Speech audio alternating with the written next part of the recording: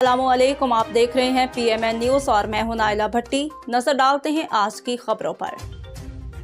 खबर शामिल करते हैं लोरालाई से। हमारे ब्यूरो चीफ मोहम्मद रसूल नासिर की रिपोर्ट के मुताबिक लोरालाई म्यूनसिपल कमेटी के बयान के मुताबिक जुलाई 2022 में लोरालाई शहर में चीफ सेक्रेटरी बलोचिस्तान और सेक्रेटरी लोकल गवर्नमेंट जनाब दोस्तीन खान जमालदीन की खसूसी हिदायत पर नदी नालों पर तजावजात और गैर कानूनी तमीरत के खिलाफ बड़ा ऑपरेशन शुरू किया गया था, जिसमें जंक्शन नाला, हजारा मोहल्ला और लेवेज लाइन नाला पर कमोबेश चार किलोमीटर तक ऑपरेशन किया गया।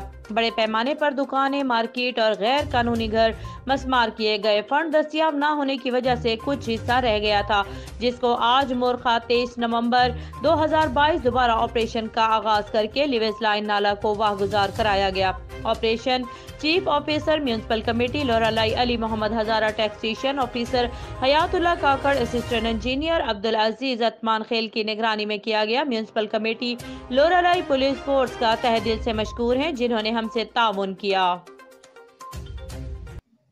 अब तक के लिए इतना ही। मजीद खबरों से बाखबर रहने के लिए देखते रहें पीएमएन न्यूज़